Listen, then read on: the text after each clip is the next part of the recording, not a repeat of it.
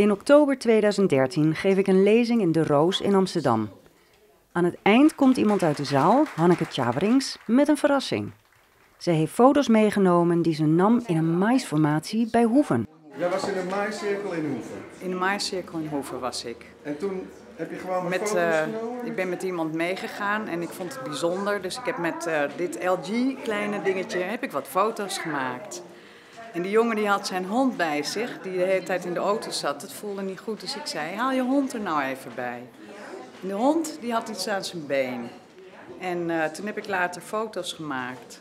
En eh, toen bleek er eh, energie op te staan, zowel bij de jongen, Garmt, die mij mee had genomen, en zijn hond. Bijzonder. Dit, dit zag je niet met het blote oog. Dat zag ik niet met blote oog. Ik voelde wel aanwezigheid. Ja. Ik ben